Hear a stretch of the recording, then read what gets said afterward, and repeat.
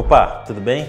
Nesse vídeo eu vou falar como você deve fazer para cadastrar e configurar o seu domínio na GoDaddy. Existem dois tipos de configurações diferentes que precisam ser feitas. Uma é para o checkout da YAMP e a outra para quem for criar o apontamento para a loja virtual junto com o checkout.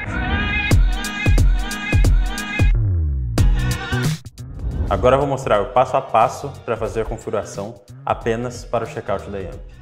Dentro do meu painel, acessando a aba de configurações domínios, a gente vai clicar aqui em vincular novo domínio. Aqui a gente vai colocar o nosso domínio e salvar.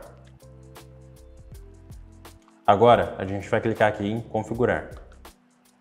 Nessa aba ele traz diversas informações para a gente. A gente vai descer e focar nessas configurações do registro do DNS do checkout. Então a gente vai copiar aqui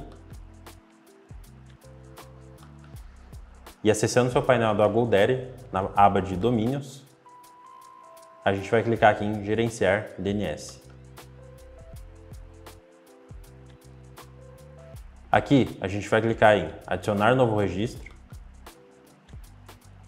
selecionar CNAME adicionar o nome, seguro, e o valor, que a gente pega aqui. Após isso, só salvar. Agora, vamos configurar o domínio para ser utilizado na loja virtual junto com o checkout da Yanni. Para esse processo, a gente vai clicar aqui em configurar. Aqui a gente tem todas as informações dos registros DNS para a loja virtual. Então a gente vai começar pelo primeiro, do tipo A, vir aqui, novo registro, tipo A, arroba, e copiar aqui o valor e colar aqui. Salvar.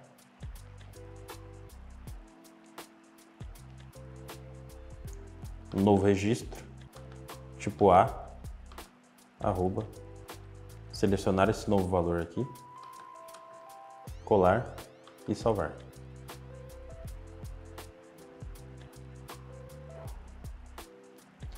O mesmo processo agora para o www, que é um registro CNAME. Então a gente vai clicar aqui em novo registro, tipo CNAME, www e pegar o valor. Lembrando que a gente não pode ter outro registro do tipo CNAME com o valor de www. Não vai daí. Agora é só salvar. Se você tiver qualquer dúvida, acesse nossa central de ajuda e consulte os artigos. Você pode também entrar em contato com nosso time de suporte via chat, através do seu painel de cliente ou pelo e-mail suporte.com.br. Até a próxima. Tchau, tchau.